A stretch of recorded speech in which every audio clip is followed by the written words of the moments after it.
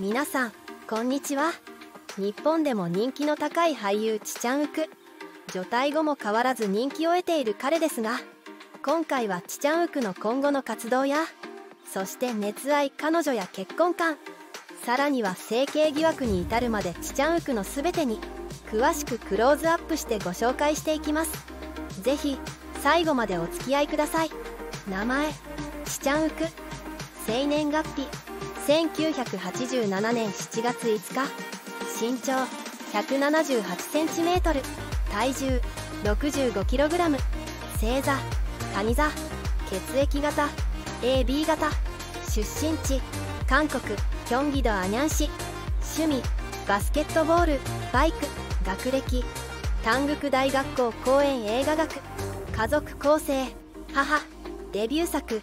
2008年映画「スリーピングビューティー」所属事務所グロリアスエンターテインメント。俳優リュドッカンと同じ中高に通っていたチチャンウクは高校3年生に突然進路を演劇映画化に決めたそう。初めて母親に演技を習いたいと進路を伝えた際には猛反対され喧嘩になったんだとか。さらに進路を演技に決めたはいいものの自身は演技スクールには通わずに毎日リュドッカンを演技スクールまで自転車で見送っていたのだそうです。そんな時リュドッカンから演技スクールに通わなくていいのかと催促されその時初めて通わないといけないのかと知ったそう。またチチャンウクの歴代出演作を見ていると少しずつ着実に俳優としての道を歩んできたことが分かります。デビュー作は独立映画テレビデビュー作は朝ドラ。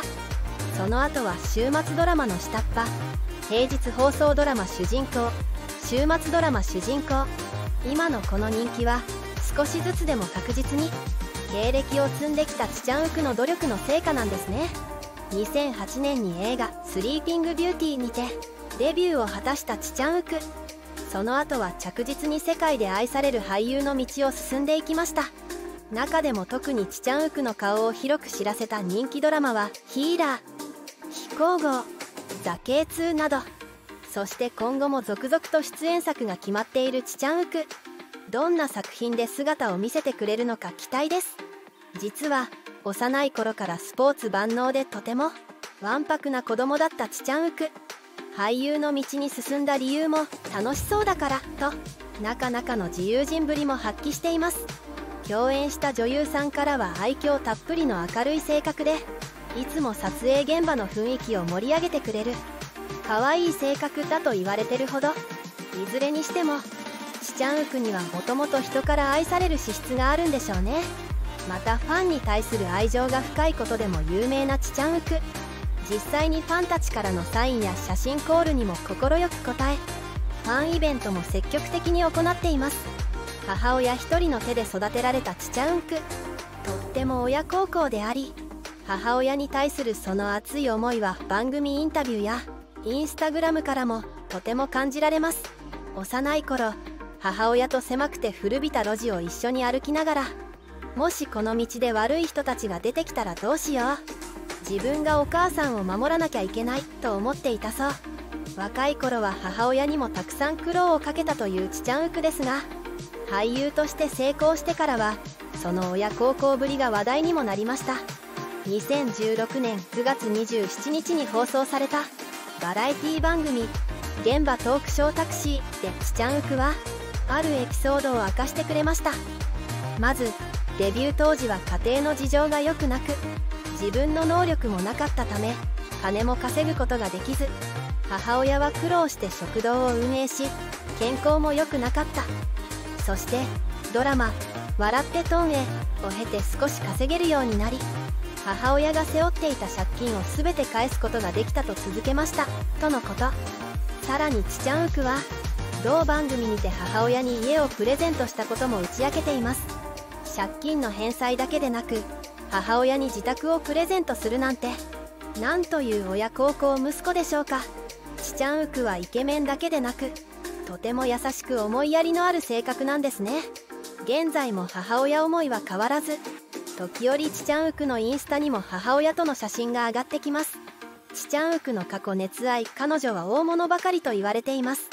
過去の熱愛彼女候補1人目はドラマ気候号で共演した人気女優ハジウォン。ハジウォンはなんとチチャンウクより9歳年上。ハジウォンがチチャンウクの熱愛彼女だと噂されたきっかけは2014年のインタビューでした。その際見せた2人の仲睦まじい姿とチチャンウクのハジウォンをデートに誘うかのように感じる言動が話題となり熱愛彼女と噂されるように。しかし残念ながら番組宣伝の要素が強かったようで実際にハジウォンが熱愛彼女だったという確証はありません。次に熱愛彼女候補2人目として挙がったのは2014年のドラマ「ヒーラー」で共演したパク・ミニョン。パク・ミニョンが熱愛彼女だと言われた理由はドラマ内で2人の濃厚なラブシーンがとても多かったため熱愛に発展するのではと双方のファンが騒ぎ始めたからだと言われています。さらにパク・ミニョンの女優は恋多くなければならないという言動が熱愛彼女ではないかという噂を大きくしてしまいます。しかしドラマ以外での2人の目撃情報もなくこちらも噂で集結したようです。熱愛彼女と噂された3人目は2009年にミスコリアに選ばれたキム・ジュリ。チチャンウクの熱愛彼女候補で珍しくドラマの共演者ではありません。キム・ジュリが熱愛彼女と噂されたのは2人のつけていたアクセサリーがお揃いではないかと疑惑が出たことから。その後も同じ背景で撮影された画像などが別々にアップされたためさらに熱愛彼女説が加速してしまいます。実際キム・ジュリとは仲が良かったようですがチチャンウクの事務所が熱愛は事実無根でありお友達の一人とコメントしたため事態は収束。しかし今までの熱愛報道とは違い実際に会って食事などしている様子ですのでもしかしたら本当に熱愛彼女だったのかもしれないですね。そして熱愛彼女と噂された4人目は2016年ドラマ「ザ・ケイツ」で共演した少女時代のユナ。